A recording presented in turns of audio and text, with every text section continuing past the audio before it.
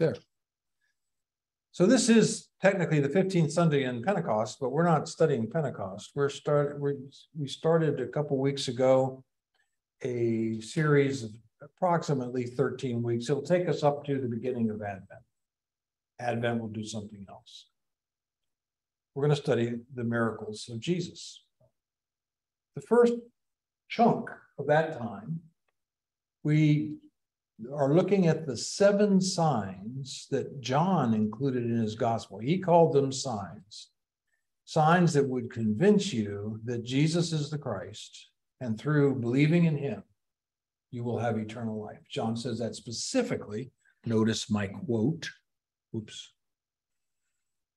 In John chapter 20, that this is important. You need to understand that Jesus is the Christ, and believing in him is what this is all about.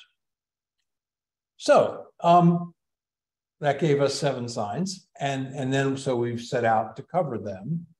And just because of timing, we are to the sixth and seventh sign now.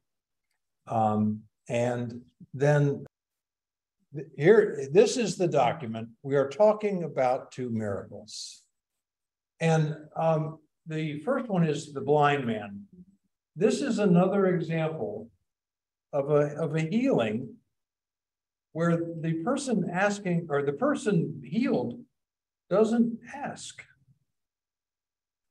Um, his Jesus uh, disciples say, Lord, who who sinned here? Well, why is there, you know, why is there sickness? Now, Jews believed that, that they were being authentic Jews. If somebody was if somebody was suffering a illness, the explanation was that God caused it. God caused to, to the Jewish mind, God causes all good things and all bad things. So if there is a suffering person, there must be a sin to explain it, because God wouldn't arbitrarily punish an innocent person. So that, that person, or maybe his parents, there was all kinds of rabbinical contemplation about is it possible for the soul to sin before it's born? For example, I'm, I'm just saying they, they were trying to figure this out. Why, why would, would illness happen if there wasn't an obvious sin to, to point to? So maybe they even got into a reincarnation idea this is hard to believe that Jews would have this thought, but is it a prior previous life? Where, where, where did the sin come from? So they're being authentic Jews when they ask this question. So they obviously were not starting on the premise that they themselves were sinners. right? Because well, they always they, they fair, fair, you know, I, I didn't put that together. Sin that is the corollary of that argument. Since I am not suffering today, I must be perfect. That's a good way to go through life, right? It's only the sick people who are sinners, like Debbie. She, she's she's suffering long term COVID. poor, poor, poor Debbie. We, we, we will have to go through a confession and forgiveness. Yeah, I'm punished enough. She's a very simple person. Okay, thank you, Carson. Okay, I, am Tim. Tim, this this does fit. This does fit that Pharisaic mind, though. The Pharisees believed that they could follow the law and that they were not sinners, which would explain why God was blessing their life. That's how that's how this whole logic worked. Jesus is confronted with that. His disciples actually confront him with this thought. And, and you all remember this answer. This is this is kind of Sunday school 101, but no, it's it's not neither this man nor his parents sinned. So Jesus is is wiping out that whole logic. He doesn't make a big deal about it, but he has just thrown that whole school of thought out. Here's a man suffering, and it's not because he or his parents have sinned. Now, we also have an explanation that involves sin. What is our understanding of the role of sin in this poor guy's suffering? Any thoughts? We do, we do have an answer. It's related to the Garden of Eden story and the curse. When sin enters the world, people die. And related to that death is all the sickness that comes with it. We don't have any way to draw the direct line. So it, I don't have to be able to show your sin and your sickness. We live in a broken, broken world. Sin has caused this break. So to that extent, the Jews were correct. Sin causes illness, but but not a specific punishment for for sins. Uh, Jesus could, could Adam say, pardon. for Adam and Eve say they died spiritually. Um, saved is a different concept, but before Jesus existed in the timeline, all the Old Testament folks, all the Old Testament folks died before Christ. I'll, I'll use the word if. If they are saved, they are still saved through Christ because everyone who is saved is saved through Christ. Even though they never knew the name, I have no idea how this works. That's all I can say. People are saved by Christ. If David or Adam are saved, it's because of Christ. I don't know how that works. I don't know. How. It, it is a, it's an interesting question. Are Adam and Eve saved? Revelation through the Old Testament was progressing. Yes. When the sacrificial system was inaugurated, people believed the shedding of blood would forgive their sins. So they participated in that system and they were saved because that's all the revelation they had at the time. I would suspect that Adam and Eve, this Cain, uh, Abel was the first one to put sacrifice. So you could say that maybe Cain and Abel fell under that system, but I don't see that with Adam and Eve. Adam, Adam and Eve is tough because they died before there was any law. That's right. There was no law. There was no. Well, they had one law: don't eat that tree. You can't eat of that tree. That's true. They had one rule and they broke it. So uh, that yes, uh, Paul refers to him that way too. He was a the, the a I'll use a a son of God. Yes. Yeah. Okay. We'll never finish, guys. Let's go on. Um, Jesus completes his answer though. It wasn't because this guy or his parents sinned. It was because the work of God might be displayed in his life. Then we have verse four and five. Remember last week we were talking about the fact that the Jews got upset that he worked on Sunday. He, he did a he did a miracle on Sunday. This was common. Uh, Jesus liked to poke fun at the at the Pharisees, so he would perform his miracles on at the synagogue. Uh, I don't really know if that was his purpose, but that's what he ended up doing. I, I'm sorry. Thank you. Yes, Saturday the Sabbath. Yes. So he would he would perform his miracles, and that would get him upset because he was working on Sunday, Saturday, and and so um, he he did say then that while God did rest on the seventh day of of creation, that was his last day off. God does not take Saturdays off, according to Jesus last week. He works all the time, and then this is where he got in trouble. Jesus said, and so do I. I don't take any time off. So uh, 24 7 is my logic. He, I'm, I'm working. Pardon? Uh, well, I, I, God doesn't, I don't know whether he wants or needs a vacation. It's not his existence. Remember, he said his name is I am. And so I'm going to interpret that as he is always on always on. God never stops. Um, now, now remember, This guy, this guy who is, is blind is there, but he has not been involved in any of this conversation. This is between Jesus and his disciples.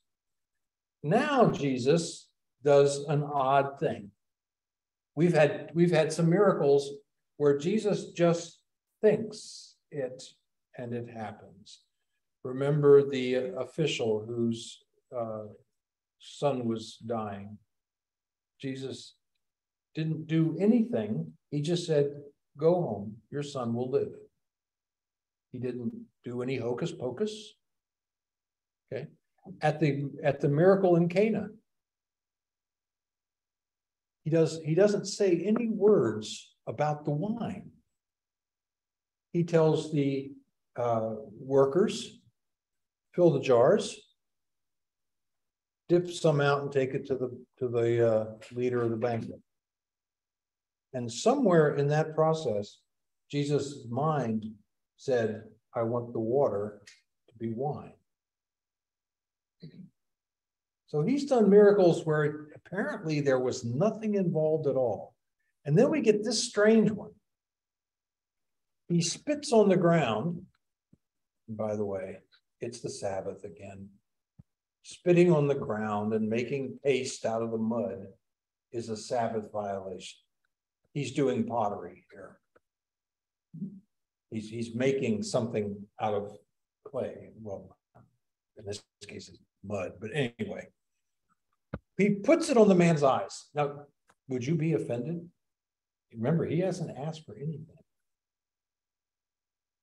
Maybe, maybe he likes his gig where he sits there and begs for money because he's blind. Anyway, Jesus puts the mud on his eyes and says, Go, uh, wash in the pool of Siloam. So I ask over there in my questions, method's odd, but it does at least involve the man in the miracle. He has to get up now and go to the pool and wash his eyes. So we could say that's he's involved in his own miracle. But on the other hand, if you had mud on your eyes, wouldn't you want to wash it off? So maybe there's no faith here at all. It's just good advice. Go wash your eyes. You've got mud on your eyes. I don't know whether Jesus intends for the man to embrace his own miracle or not. We usually think of faith that way. But in this case, because the guy does have to wash his eyes, I'm not I'm not sure it quite raises rises to that level. Now, I I think the dust refers to God making man out of dust. Okay, we are we are made from from dust. Yep. Okay. Now, the, the rest of this discussion here in this first chapter uh, nine is how people related to to this miracle. Um, the first reaction by the people watching this is, oh, oh sorry, uh, this happens immediately after the guy goes and washes his eyes, so now he can see. Okay. So the explanation, it's not him. We're, we're, we're mistaken. This is not you know, John the blind guy. This is somebody else. That was the first, his neighbors and those who'd formerly seen him begging.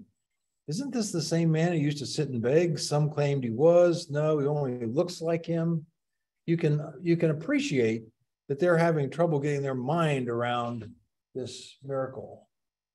The smart money is no, it, miracles don't happen. So this guy must not be the blind man. This is somebody else. That's the smart money. The believer says, well, no, it could happen. Uh, he was asked, Uh, I guess officially, although it doesn't say who asks him, but it's probably the officials in the temple. Because they, they notice this guy washing his face and, and it's, it's the Sabbath, remember? The man they called Jesus made some mud and put it on my eyes. He told me to go to Siloam and wash. So I went, and now I can see.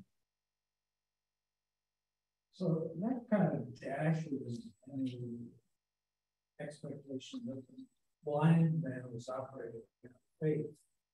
Even know Jesus was. They called. They call Jesus. Yeah, he see, he, he seems to be cooperating with the authorities. Now, the Pharisees are working on that same logic. Well, this must not be the guy who's blind. So, um,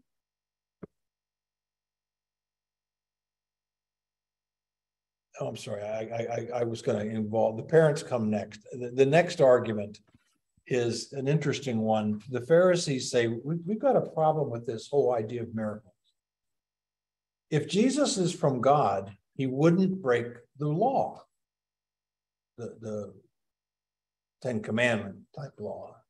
And one of the laws is don't work on the Sabbath.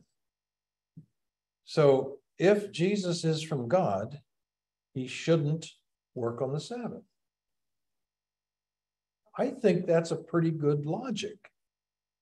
It just it misses, and this is the point that Jesus makes, is but but even you make allowance in an emergency.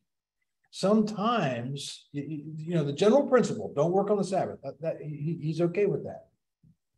But if his two examples are if your child or your animal falls into a well or a ditch, you will get the animal out of the ditch. You won't say, well, it's the Sabbath. I'll let you just lay there in the dirt until till Sunday morning when I can come and, and get you out. No. You you you take steps. And that's the category Jesus puts these healings in. I'm people are suffering. I'm I'm mm-hmm. fixing the suffering. It doesn't bother me that it's the Sabbath.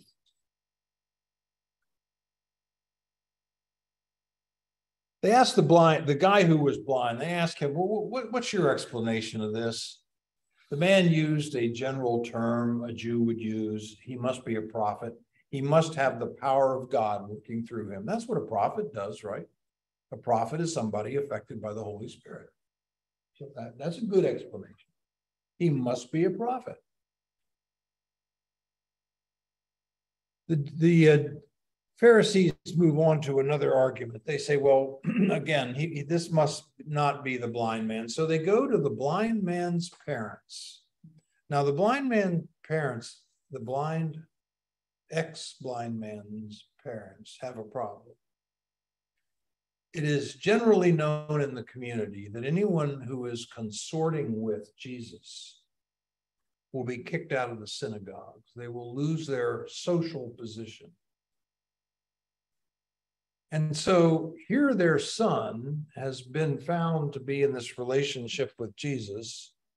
They are afraid. So if they were to say publicly that Jesus healed their son, who had been blind since birth, they are engaged with Jesus, they could lose their social standing. So they want off that hook they're not very nice to their son about it, but that's basically what they say. Look, he's old enough, he's of age. Ask him. What, what do we have to do with this? The Pharisees seem to accept that, so they ask him. They summon the man. We know this man is a sinner, they say to him. And then he gives an answer that's very familiar to, to Christians. I don't know whether he is a sinner or not. Remember, the guy works on the Sabbath, so depends on your definition. We don't believe Jesus ever sinned. But okay, we'll, we'll give him that argument. I was blind, but now I see, is what the guy says. End of argument.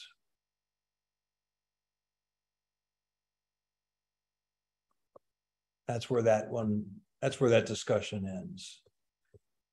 They, the, the Jews don't get their good answer about working on the Sabbath or whatever.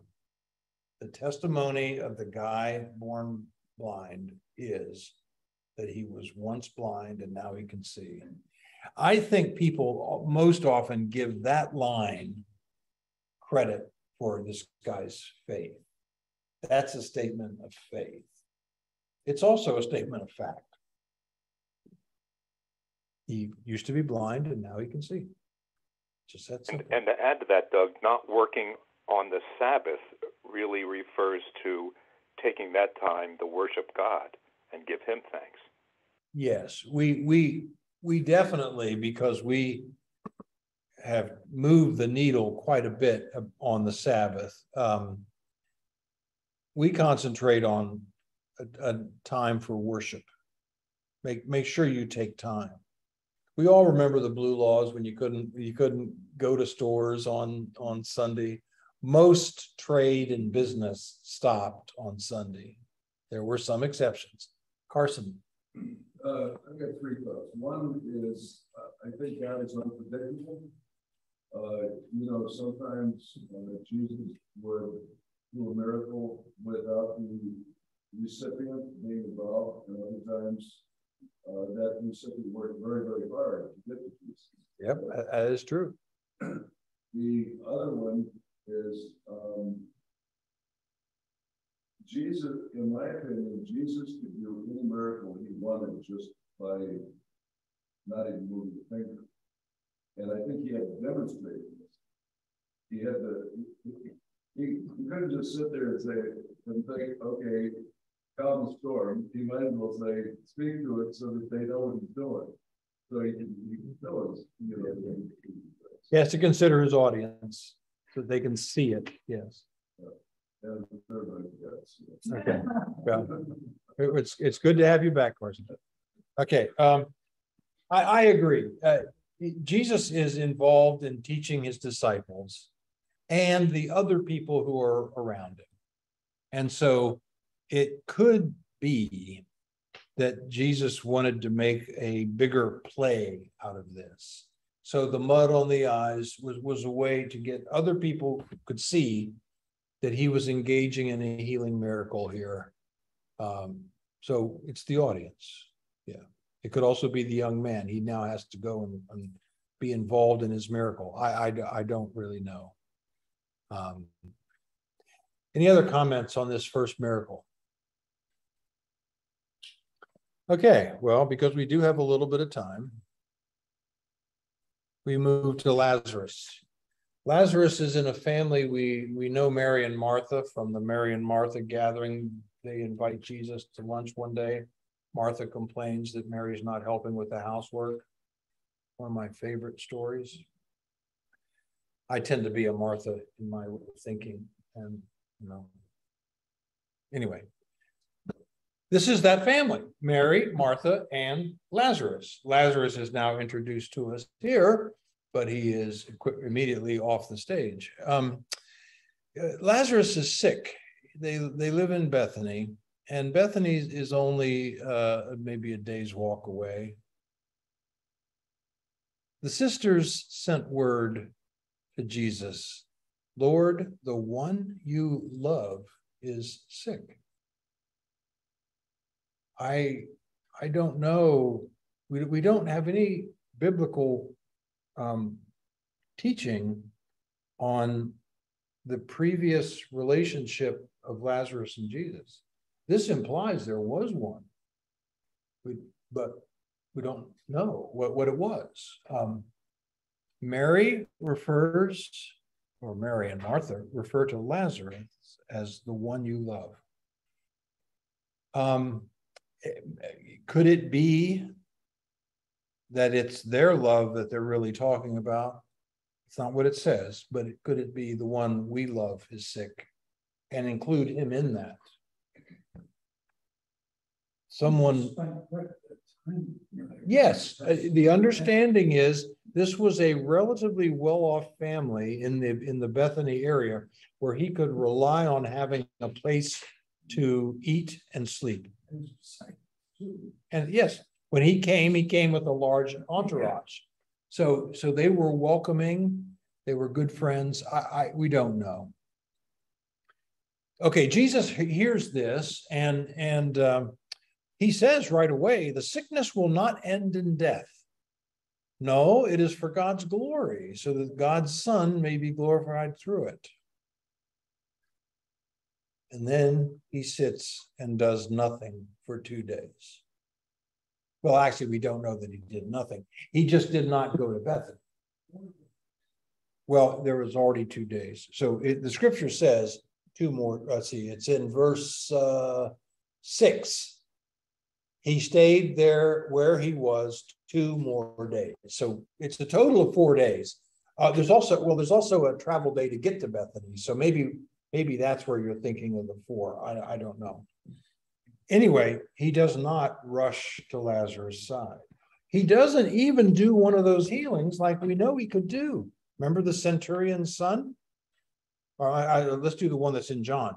The the official's son, it, it was the centurion's servant, not the son anyway. But anyway, the the the uh, official's son was healed at a distance. He could have just projected that healing to Lazarus, and that would have been how this story ended. But that's not what happens. He purposely waits for Lazarus to die. That's hard. Probably was hard on him. He's going to weep in this. But anyway. So two days pass. So, so finally, let's go back to Judea. That's where Bethany is. Let's go back. Now, the disciples uh, were now getting into this. Uh, Judea was a recent place where they must have had some trouble with the crowds. Uh, I don't know specifically which event they're talking about, uh, but the last time we were there, they wanted to stone him. That's what verse 8 says. Um, I don't know which story to that which that refers. Then Jesus has this paragraph. This is one of the times where you have to really scratch your head. What, what is Jesus answered? Are there not 12 hours of daylight? A man who walks by day will not stumble, for he sees by this world's light. It is when he walks by night that he stumbled, for he has no light. Ah, way too deep, Jesus. Give it. I had to go to a commentator, say, give some help. What, what, what's he talking about here? And my commentator simply said, Jesus knows it is not his time to die. A trip to Judea will not end up in his death. That, that that's all this is. The the version about light and stumbling in the dark. It's it's it's not yet dark. Darkness is going to overcome him on Good Friday that's when he will die. So he is completely free to go to Judea anytime he wants. It will not end in his stoning. Uh, I appreciate that there are commentators who have done a lot more thinking about this than I have. Anyway. Then he says, Lazarus has fallen asleep. Now we're going to know later in the story that he's been dead for four days. So it's it's not sleep, Jesus, but he's using this language. The difference is that when somebody does fall asleep, they can later get up. When people die, they don't get up. So he's actually right to use that that picture. Sleep is a good picture because he is going Lazarus is going to get up. Doesn't mean he didn't die. He's died. He's dead four days. Lord, if he's sleeping, he will get better. No, no, no. Jesus says it's it's death. It's just not. Anyway, he finally tells them Lazarus is dead. Then we have another one of those confusing paragraphs. Now Thomas gets into this all this conversation about death has happened. So Thomas, remember that's doubting Thomas, says, Let's go with him, that we all may die with him. Thomas is here, he, he's picking up on the death the last time they were in Judea he has misunderstood what Jesus is talking about death versus sleep and whatever. He thinks Jesus is committing to go to Judea to die. He has exactly the wrong idea here. But Thomas is saying, let's go. We've promised to go with this guy even to death. Now's the time, according to Thomas. So he didn't understand what Jesus. No, he didn't understand that paragraph either. He needs a better commentator. Okay. Uh, you, if you've ever seen one of the movies, you'll, you'll appreciate this scene. Um, Jesus arrives, he, you know he's gonna solve the problem. But a Jewish funeral is terrible. You, you've got hundreds of people, and you've got these people who are wailing. They, they actually pay people to scream. It's awful. So it's bedlam. I don't know, how many people were in the village, but it's just a crowd of yelling people. And in comes Jesus into this scene. He doesn't go all the way to their house. Uh, he makes it maybe to the edge of town. Word is sent. Martha comes out. Martha's first, Mary comes second. Martha gives some wonderful testimony here. It's clear that she is a believer. Lord, if you had been here, my brother would not have died. Probably a very honest and truthful statement. I, I, I, I doubt if Jesus would have sat at his bedside and let him die. Uh, the story would be different if he did it that way. Uh, he he was several villages over and he let him die. I appreciate that, but it would be much harder if he was actually sitting there in the room. This is certainly a statement of faith. Yes, if you had been here, I've seen you do healing, you would have healed Lazarus, no question. But then look at verse 22. She goes a step further. Even now, but now I know, even now, God will give you whatever you ask. She is asking him to fix this problem. So she knows what he, what he, she doesn't know what he's about to do, but she knows what he can do. She may never have seen something like this, but she's asking for it. No, this is Martha, not the Mary. I know this is, that's right, that's right. This is Martha, this is This is is Martha. working. Yeah, this is the.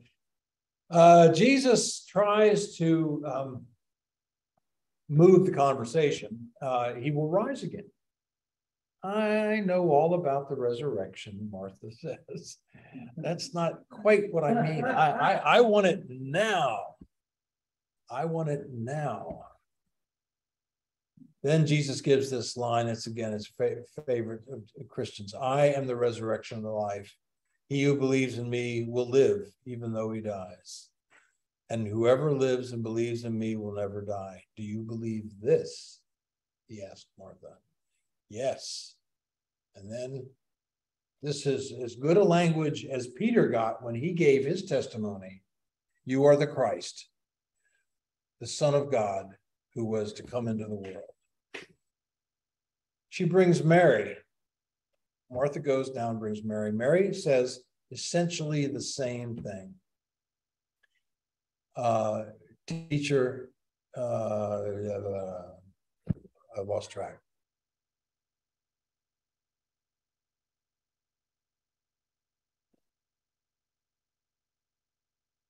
There, there it is. In verse 32. Lord, if you had been here, my brother would not have died. She is weeping. And now she, she the conversation doesn't become as theological uh, with Mary. She just starts crying. Jesus responds to her weeping. I don't know if did, did- actually didn't I thought I added these words. Yeah, here it is. I, I, I lost. Jesus weeps with her. And I don't know exactly why. Is he weeping because Mary's weeping? She's his friend. She is suffering. So he gets involved in her suffering. Is he, um, is he weeping because of this situation that he's created? He, he could have healed right away. Um, he didn't. So we have death and we have all the trauma related to that. Is that the problem? Or is it a deeper issue? Death is a real reality for most no, I'm change that, for all human beings. Death is a reality. People die and they suffer. And Jesus is pray, is weeping because of that general condition, which he's going to solve ultimately with the cross, but, but not at this moment. So he's weeping with Mary. Can you explain that? Can I explain what? Jesus knows what's, what's gonna happen, why would he be weeping? That, well, that's what I'm, I'm trying to get at. Yeah, he's a, he's a human being.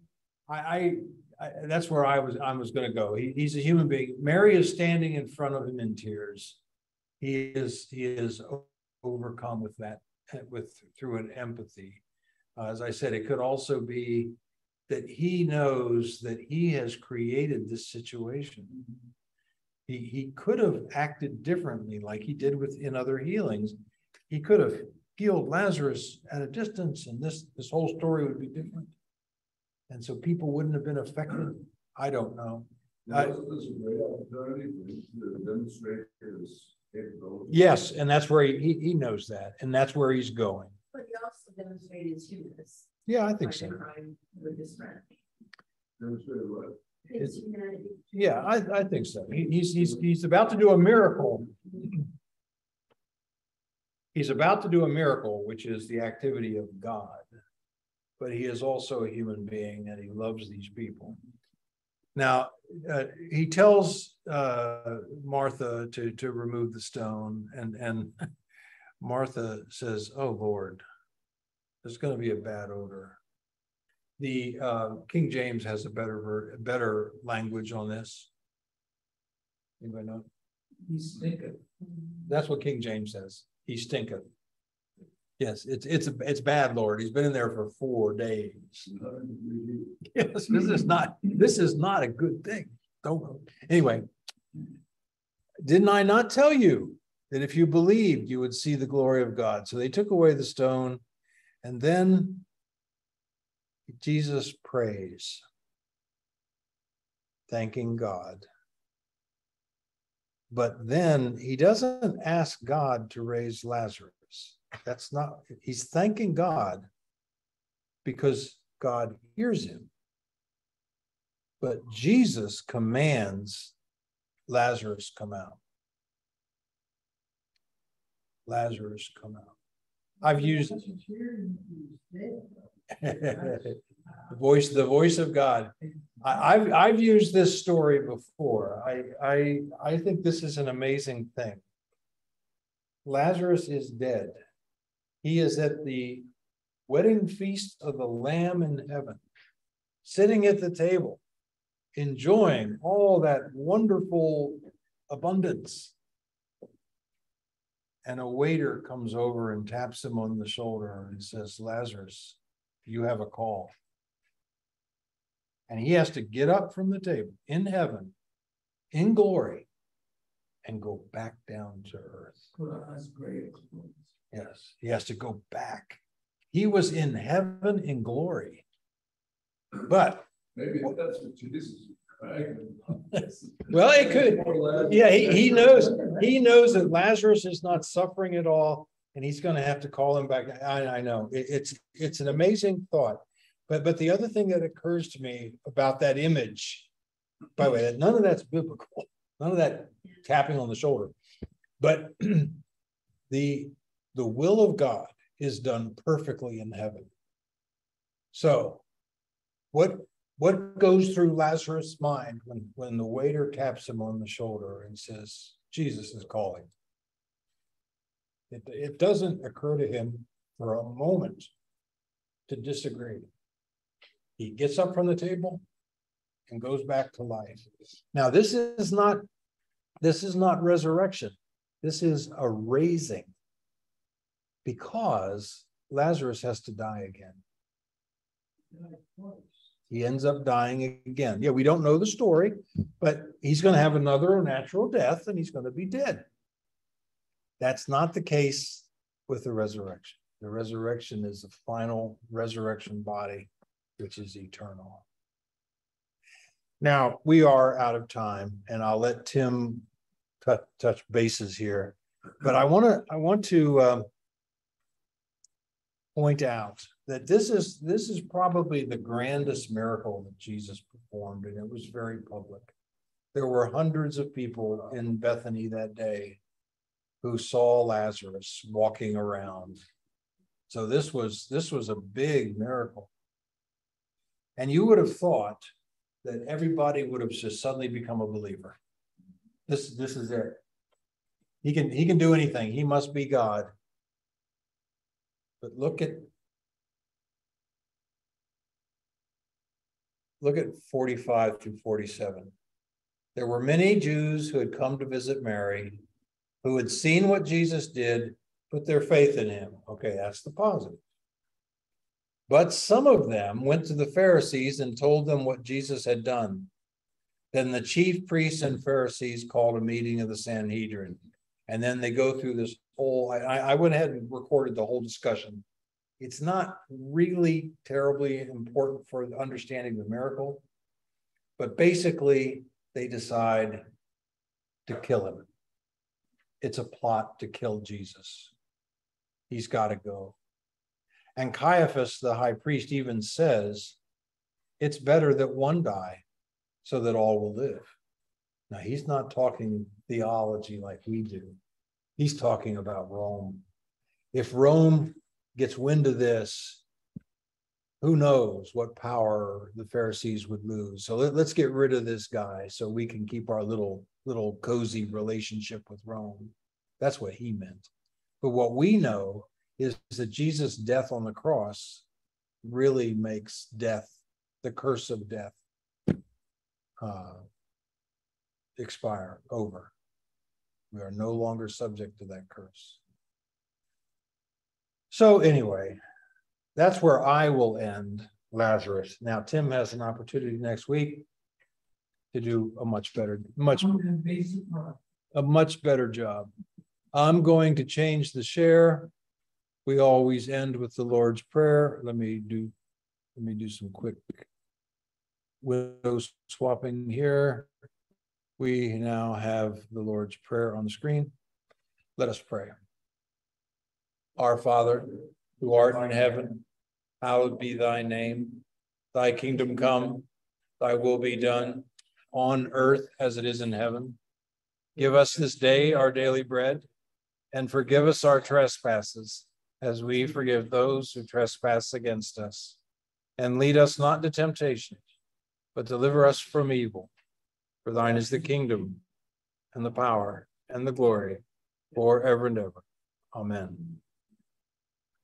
So, um, anything else for the good of the cause? Be safe, be blessed. Have a good trip, out to San Francisco. Yeah, thank you. Thank you all for your good wishes. Yes.